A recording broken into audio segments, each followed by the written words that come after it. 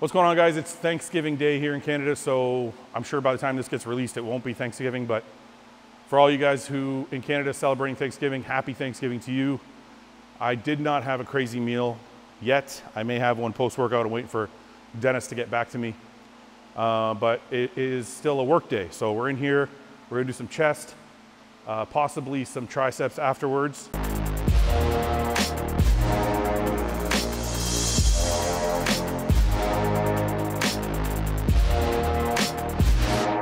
A lot of you guys on Instagram have been following along, know I'm kind of doing a transformation.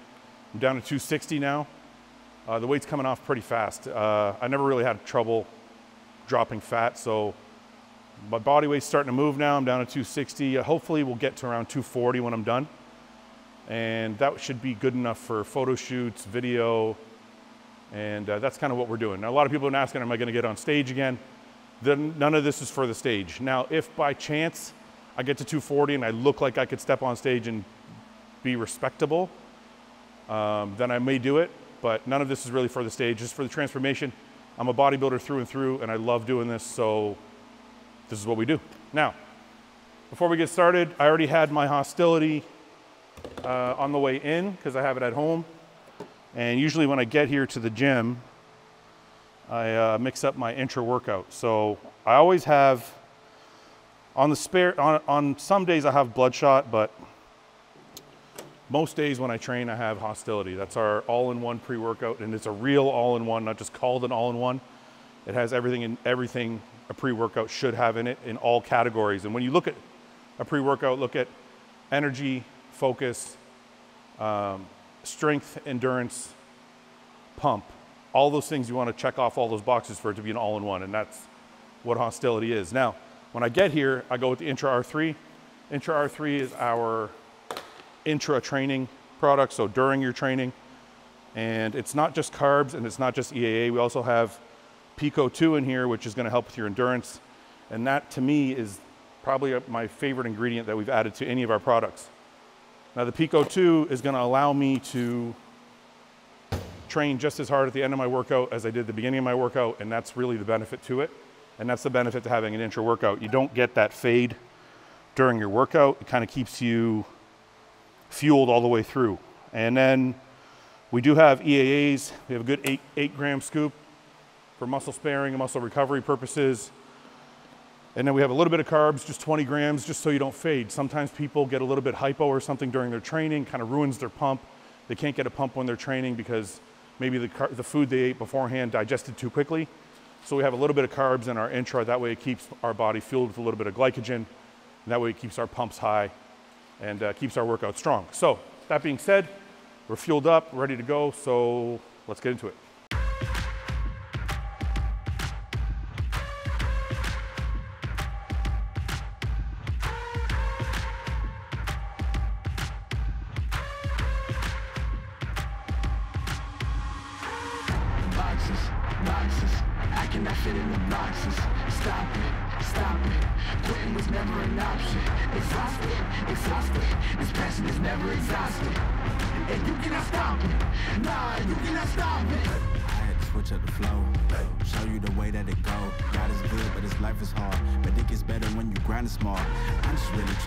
We tired of being who they say we are. That's the baton, we gon' take it far. Real, we don't fake it all. Tired of nine to five, just make enough to survive. Something I've mentioned in other chest workouts. I'm sure there's probably new people that are on the channel, so just gonna mention it again. When you're doing an incline press, whether it be dumbbell or barbell, the incline does not have to be that high. Sometimes I see people sit down to do an incline press and they'll put the bench, you know, somewhere like that. This isn't wrong, okay? It's just, I don't think it's optimal for building the most chest. I feel like you only need a slight incline. And it's something I learned from John. Well, I learned almost everything from John, but one of the things I learned from John was a low incline is good enough to hit your upper chest. Now, if you really have upper chest issues and it's a lagging area, then yes, I would put it higher because then you're gonna get right across the top and across the front delt. But when you get too high, you are gonna get more front delt. So I would be careful going too high with the incline. As you can see, my incline is just one notch up on the bench. You probably do two max.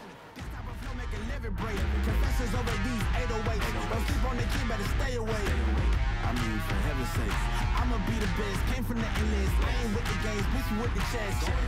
Be beating on my chest, trying to get my rest. Watch me while I flex. Every win is a blessing, and every L is a lesson. So when I run into rejection, I know it's only redirection. I see the blessings right beside me. The chances of quitting are likely. I do it like I'm in my Nikes. Don't make excuses, they never excite me. boxes, boxes. I cannot fit in the boxes. Stop it, stop it. Quitting was never an option. Exhausted, exhausted. This passion is never exhausted. And you cannot stop it. Nah, you cannot stop it.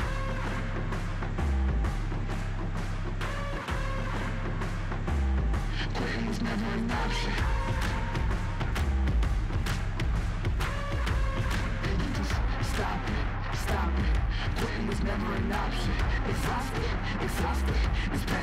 Never exhausted. And you cannot stop me Nah, you cannot stop me I had to switch up the flow. Show you the way that it go. God is good, but this life is hard. But it gets better when you grind it smart. I'm just really trying to leave a mark. We tired of being who they say we are. That's the baton we gon' take it far. Always been real, we don't fake it all. Tired of nine to five. Just make enough to survive. Only living on the weekends. You really thinking that's why I'm alive? Out the scenes, time to live my dreams, do the things deep inside of me. This life it continues with fighting me, but I don't have quitting inside of me. I will not jump in these vices they throw at me. Talking to God and there's so much He's showing me, shaping me, growing me, taking me sowing seeds. A growing tree, y'all get a load of me. Yeah, don't slow on me. I get the bag like a grocery. I'm on my grind like I'm supposed to be, and I do not care if you notice me.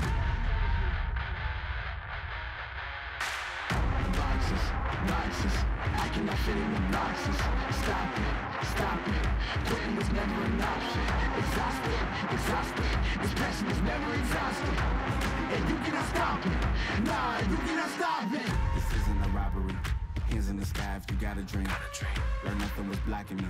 I was the problem, the only one stopping me. I didn't like it, I had to refocus. Now I'm devoted, I know where I'm going. Controlling emotions, I'm owning the moment. In order to get it, see, you gotta want it. This type of flow make a living break. Confessions over these 808s. Don't sleep on the key, better stay away. I mean, for heaven's sake, I'ma be the best. Came from the endless, I with the games, bitch, with the chest. All right, so as you guys can see, a lot of my training has changed from uh, warm up working sets to a failure set. Now I just kind of do a bunch of feeders leading up to one top set. So my working sets before used to be probably 85 to 90% of failure and then that was it. And it, I don't do that anymore. So now they're kind of all just leading up to a failure set. And um, the reason I'm doing that is recovery, my age, and I'm not taking as much stuff as I used to take before. So I have to make sure my body can recover from workout to workout. So I feel like doing three or four feeder sets into one failure set with maybe an intensity technique after is all my body needs. So, for example, with dumbbells, you saw me go 40, 60, 80, 100, 120, and then 140. All of those sets up to the 140 were just feeders. You know, they were five, six, seven, eight reps, nothing close to failure. And then I got into the heaviest one with 140, and I failed at six reps.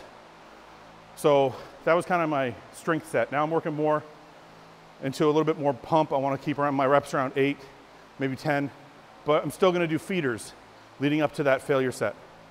And that's kind of how I changed my, changed my philosophy. So everything kind of leads to one final set, and then that set is what I'm going to get the most out of, and then move on to the next exercise. Moving into this Strive incline press. The reason I'm doing this is it's a little different than free weight in that you have three different pegs here to put the weight on. The peg in the middle is for just a regular like barbell press. It's gonna feel the same, right? The peg on the top is gonna increase the weight at the bottom. So when I put the weight up here, it's gonna increase the pressure at the bottom of the tension at the bottom of the movement, so in the stretched position. If I put the weight on the bottom peg, it will increase the tension at the top on the lockout. I'm trying to increase the tension at the stretch position to build more mass. So I put an extra plate up here. And when I, I'll, probably, I'll probably do one more set, we'll put one more plate on top to make it even harder at the bottom. So that's why I've gotten into this machine after doing dumbbells.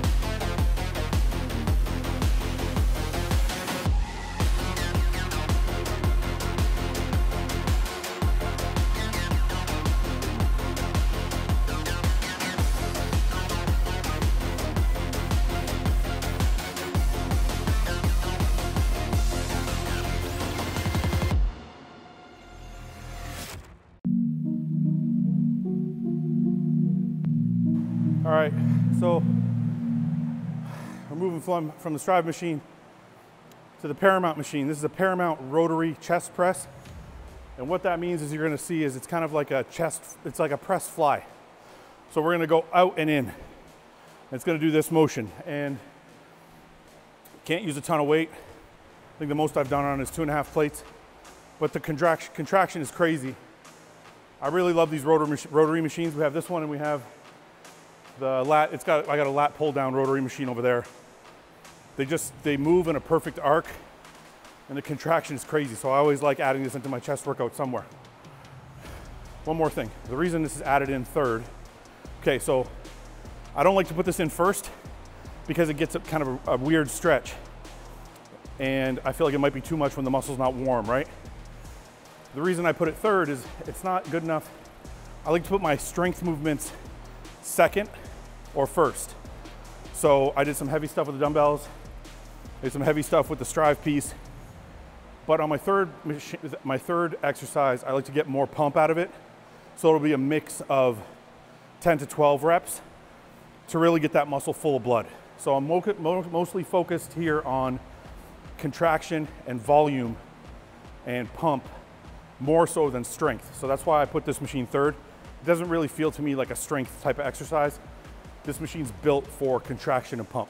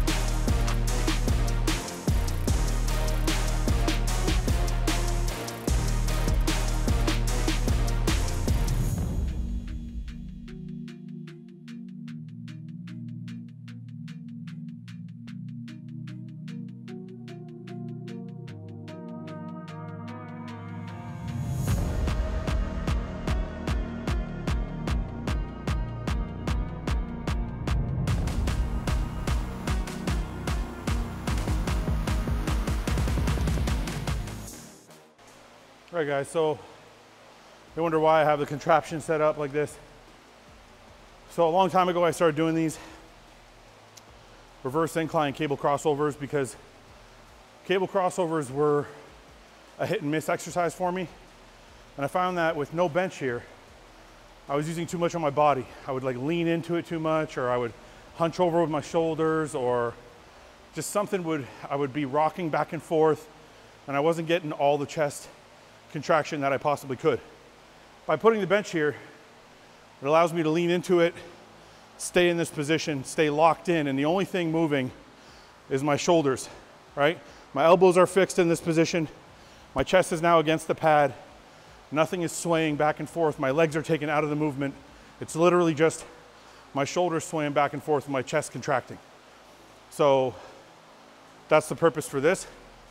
We finish the chest, finish chest off with this isolation, rep range 10 to 12, three sets, usually good enough. Chest is polished off, burnt, ready to move on to my post-workout meal or another body part. Oh yeah, whoa, look, they can never keep me down, I'm going, and if I ever fail, just know I'll go again. I never quit, cause I know that every loss may lead to another win, I'm going up. I, bet when I land, they gon' tell me it's luck again. See that I'm winning, it's harder to watch. I'm setting the stage, you should give me my props. You ain't got no soul, you lacking the spirit. You talk out your neck, I'ma show you I'm with it. I been really happy you to sit and watch me win again and win again and win again. I know it's probably getting on me and win a synonym. So if I ever win again, it's no I the minimum. I didn't have to sell my soul. Oh, yeah.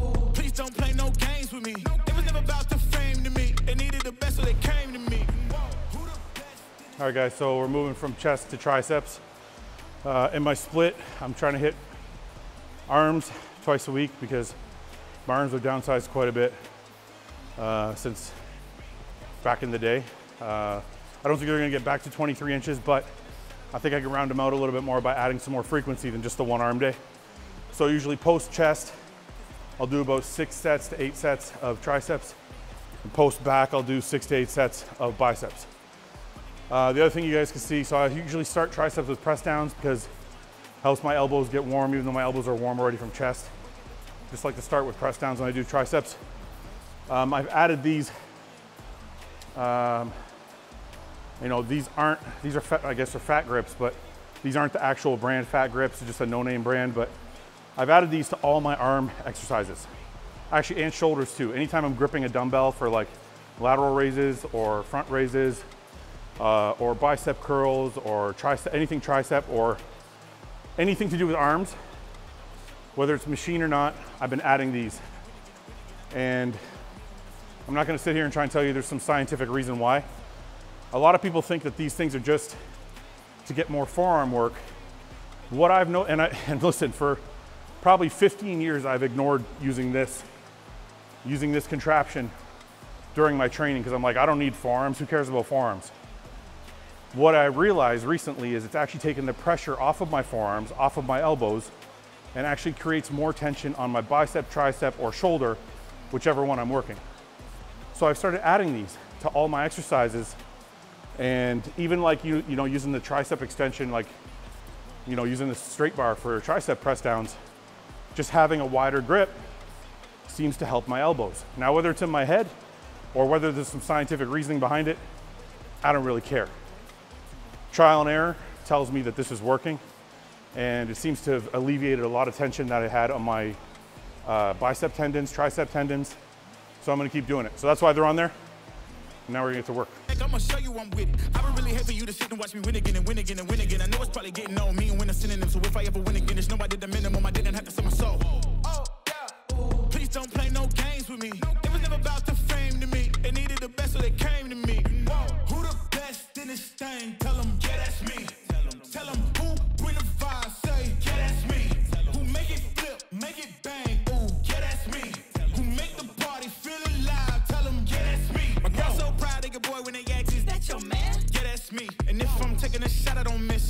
would be at the top like this? And no one made my goals for me. But I'm exactly where I'm supposed to be. Cause it's the path that God chose for me. So even if some doors close for me, I still won't let y'all close to me. So please step back where you're supposed to be. Put the game all on hold for me. And sit back, watch me roast to be. Uh, it's in my genes, I'm better than them. And I know my flow too sick, I got the medicine. I'm way at the top, who can take my place? I went too hard, can't feel my face. Who the best in this thing? Tell them, yeah, that's me. Tell them who bring the vibe,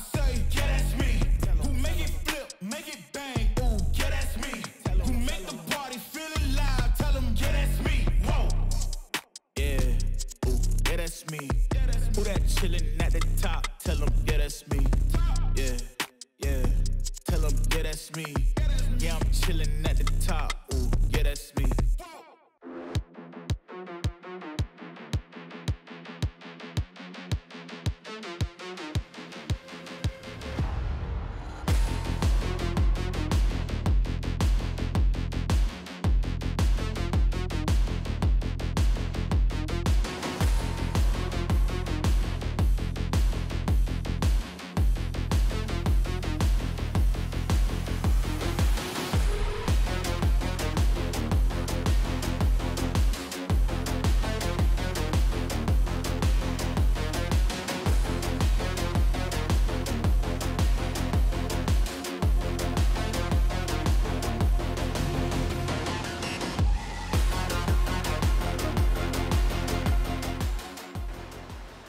right, so you guys see there's a little difference in my training when it comes to arms than it comes to like bigger body parts.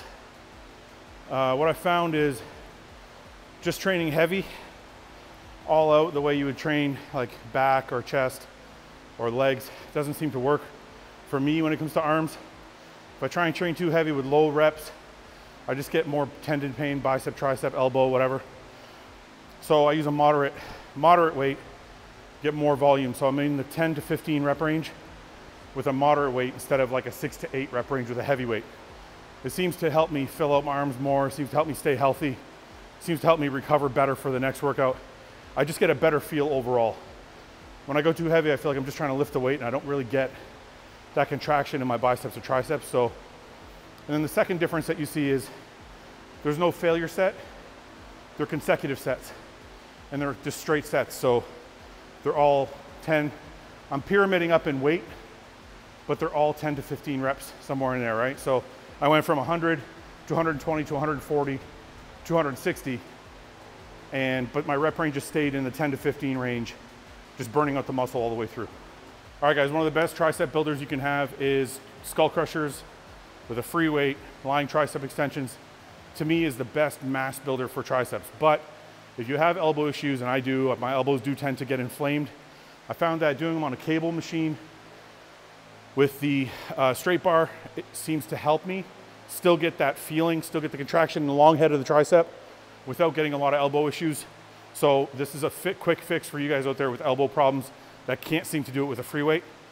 Um, I do also do it with, on an incline instead of flat or decline.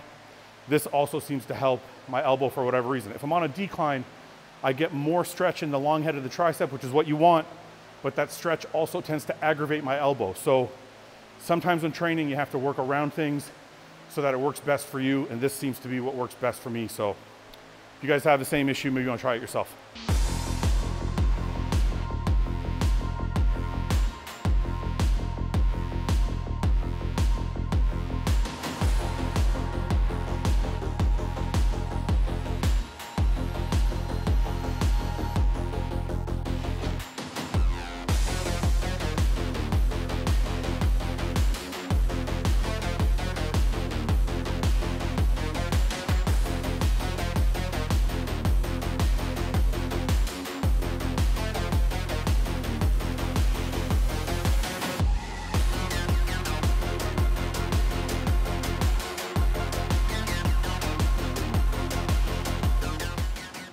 All right, so the camera guy, Ahmad, is also training and doing his own transformation. He asked me, what's the difference if you flare your elbows out or keep your elbows tucked when doing skull crushers?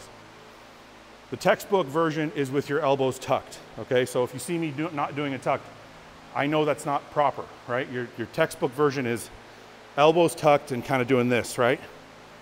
The problem is when you get to my size or even if you're not big but you don't have very much flexibility, your elbows are gonna tend to flare out for your wrists to be able to hold the bar properly. Your elbows are gonna go like this.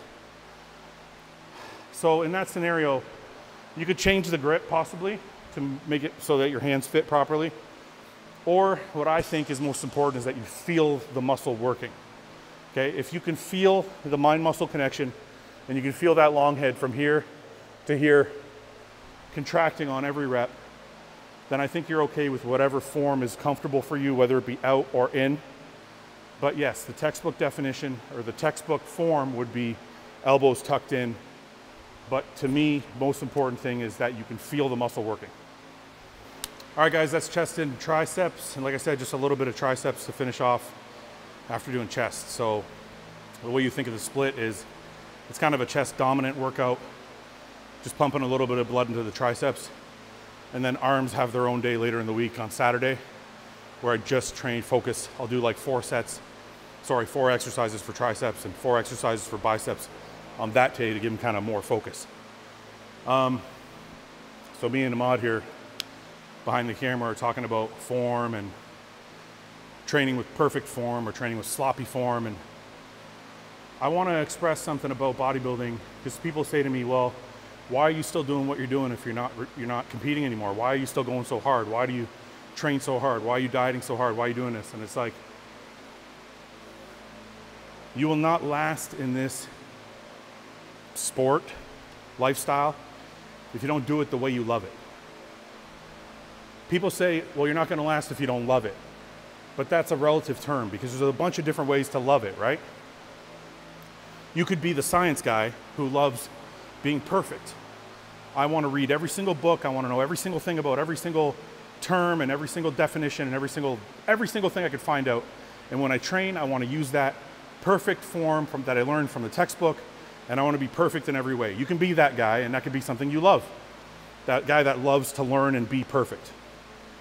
You could be the crazy freak guy like James or Ian or, or Roman that like doesn't like food and doesn't want to cheat and just wants to eat fucking chicken, rice, steak, and fucking oatmeal and just be shredded all year round and put on as much mass as possible and be perfect that way and love it that way.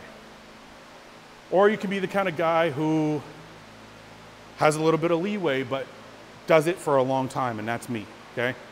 I like having a Saturday night, Saturday night off with the wife. And this is even when I was crazy at the top in my prime. I liked having off season. I would have a night or two off a week, go for dinner with the wife. I might have a drink, I might not. You know, I might have a pizza, I might have some sushi, I might have something that I enjoy during the off season and keep myself focused. Now, the same thing goes in the gym. I'm not in here trying to be Mr. Textbook encyclopedia form. I'm in here trying to put on muscle, but I'm also in here trying to have fun. Okay, so if I have a, if I had a tech, a, a perfect form guy come in here and say, look, that's not the way you do it, you gotta do it this way, and you'll put on one or two millimeters of muscle more, but at the expense of all my fun, I'm like, fuck it, I'll stay the size I am, I'm good, right? I treat everything in bodybuilding that way. If it means an extra pound of muscle, but I'm sacrificing my happiness, probably not gonna do it. Because I like enjoying what I'm doing. I like training a certain way, I like eating a certain way, I like living this lifestyle my way. Okay, and that's the most important thing I want you guys to get out of watching my videos, watching my podcast, watching anything is it's you gotta love it your way.